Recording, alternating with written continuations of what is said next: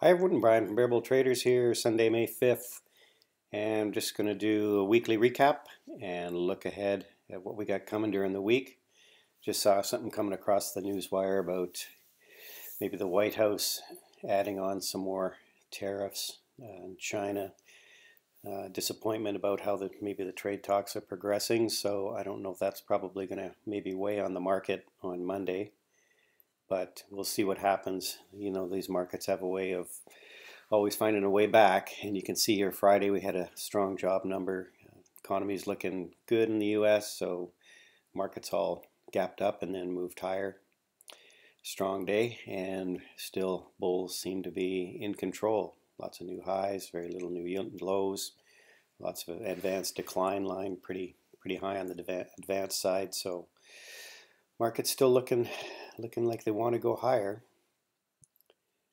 And let's just take a quick look at what we got for the groups that are performing well. We got consumer goods, consumer, I guess people think the consumer is healthy and they're going to be spending money, so the money is going in the consumer goods, industrial goods. Financials and healthcare seem to be turning around a bit here, and uh, financials have been back going back up. So uh, yeah, and technology is falling back a little bit here. So we'll see what happens next week, and we'll take a look at the indexes here next. See how things are looking on each of the indexes. Here's the 10-year Treasury. As I said here, I kind of felt we we're, we're going to chop in this range, this 2.5 to 2.6 range now. I think that's kind of where we're going to be stuck, but we'll be watching to see if that breaks down or breaks up. But right now, as long as the interest rates stay low, uh, market's probably going to go higher. See the index on the day. Dow was up, obviously. On the week, let's take a look at the weekly. You can see it was actually off a little bit during the week. Uh, but we just seem to be stalled out here at this level of prior resistance. So again, I think we're kind of going to be stuck here for a while. Uh, possibly we consolidate before we move higher or possibly roll over. We'll see. The small caps, the IWM, is looks like it actually had a breakout day yesterday. Let's take a look at it on the week. And you can see here it actually is breaking out on the weekly. Now the small caps have been lagging the other indexes, the QQs and the SPY, making new highs, whereas this index is still well off. excuse me, well off its its prior high back here from August. So, you know, it's got a lot of room to make up, and so maybe we'll look at the TNA for a trade uh, and see if uh, the the uh, weeklies can still continue on their um, run up to uh, previous highs. Again, QQQs. Let's look at the weekly. You know, struggled to go higher on on the week, kind of pulled back and then came back up again. It is in new high territory and seems to be maybe stalling out a little bit here. And finally, the S&P 500, the large caps, again made a made a new high, but you know pulled back on the week, came back up, and uh, another high. But uh, again, seems to be seems at this point to be running out of steam. So so we'll see what happens in the coming week. The dollar, the dollar pulled back a bit here. You can see here on the daily. Friday it really pulled back. See what the weekly looks like on the dollar. Again, we had a, a pullback week, so maybe we're going to get into a bit of a consolidation phase here as well on the dollar. Um, maybe he'll roll over, but we'll see uh, if we get some topping action here first. And let's see what else. Uh, we had the VIX. The VIX was down quite a bit on the um, on the week just because the market was uh, strong on Friday. So you see we tried to pop up here and then the volatility just pulled right back uh, when we had the strong day on Friday. So let's take a look at what we got on the actives. If I scale back a lot of my positions, we still have, I'm still in this AOBC. I'm still hoping it's going to break out here. It does seem to be continuing to make uh, higher lows and we'll see if it can actually break this 10. Tried back here and kind of didn't uh, didn't follow through, which was kind of a disappointment. Uh, then this weekly wasn't doesn't look that great. So again, I'll be keeping a pretty tight eye, watch eye on this, and and probably stopping out if it doesn't uh, if it can't move off this level. And let's see what else have we got here. LABU we entered on Thursday, or took an entry on Thursday at 47.6, and it really um, moved higher. And it did that. It's one of the traders uh, in our room actually emailed me, and I was actually looking at it, and he said he flagged it as well, which which I thought was good because I always like when people um, send me emails and suggest positions. So it, you know, came back, nice double bottom here, right off the resistance levels, and it looks like my my 52 target is just a little shy of this 52.50, which is where it stalled out before. So I'm hoping we can get there next week. So that was a nice, uh, nice little pop on that trade from 47.60. um, see we got on watch.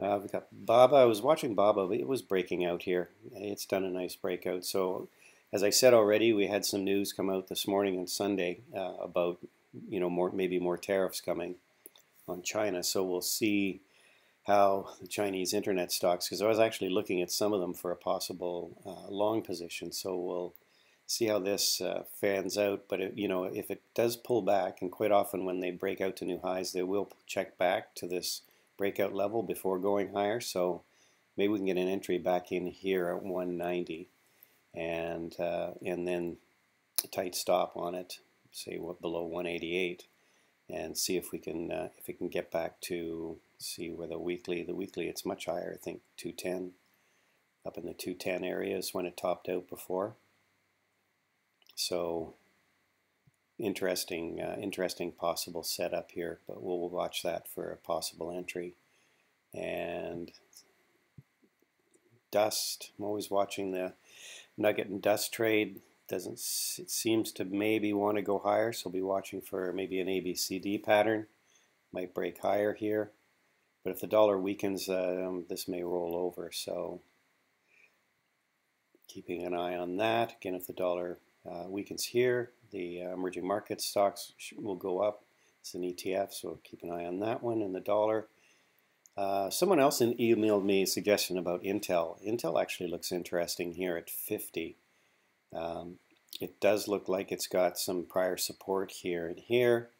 It did a significant drop here and uh, came back to that level and, and held the 50 level.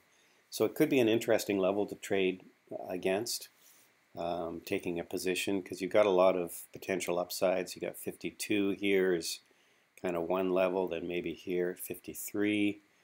Um, you know, you've got levels all along up here where it could pause 55 and then the gap fill here at uh, 57. So if the if the market stays strong throughout the year and you know we have a you know and everyone's talking about a strong second half of the year, I mean I can see Intel coming back up here. You got 54 again here at uh, on a moving average. So I can see Intel coming back here. So maybe on a bit of a pullback, we get one on Monday, might actually make for a nice entry on Intel. And thank you for one of our members for emailing that suggestion to me. This was one I was looking at an ETF. This is the uh, Chinese internet stocks. Again, I'm, uh, you know, given the news that came out, uh, we'll see if this pulls back. It does look like it's breaking out here. Let's take a look on the weekly. Going on with that?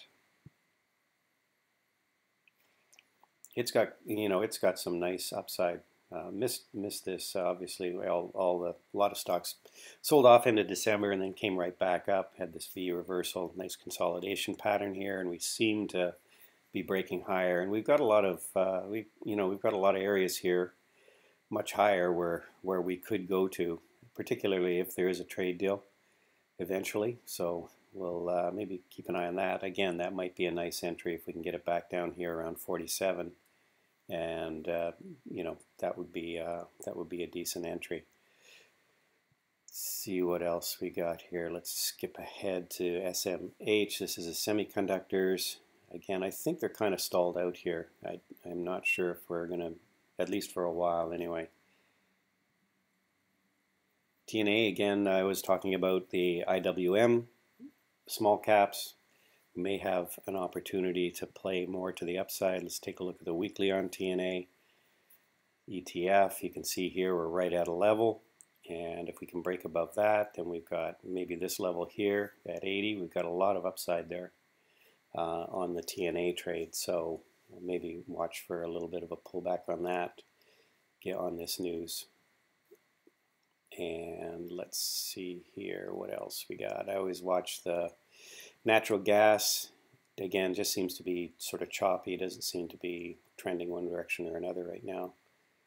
Always keeping an eye on it. And uh, we've really had a significant pullback on the oil and came back down to this 50 moving average so we may actually find some some support here um, prior support is around 18 on this level here and we're at 1936 so we'll, we'll see what happens here maybe getting a, a bit of a bounce if the markets are strong and uh, you know economy if people think the economy is strong oil should uh, at least hold its price up in this level here so we'll see what happens with that. So there's some opportunities here to trading and uh, we'll be keeping an eye on how the markets open on Monday. Like I said, we'll see how the, the markets react to this uh, latest news out of the White House and we'll maybe get some entries because you know these pullbacks are always uh, seem to be opportunities to enter. So that's it guys. This is my book. It's on Amazon, How to Swing Trade. Uh, pick it up if you have a chance, if you haven't already. And so we'll see everyone who's in our Bear Bull trading room. We'll see you on in the day trading room in the morning. Hope you have a great rest of the weekend, everybody. Take care and see you tomorrow.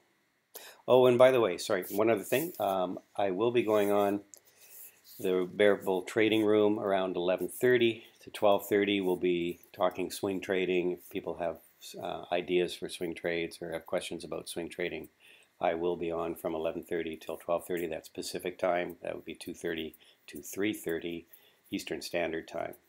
And I will be putting out. I will be doing like what I'm going to call an ETF Monday, which is uh, on Monday night. I'll do a video and I'll just go through some of the popular ETFs, and I'm just going to focus on ETFs and we'll just talk about uh, some of those ETFs that are trading and where each sector is is trading in the market right now. So, all right, that is it. Have a good one, everyone. Bye for now.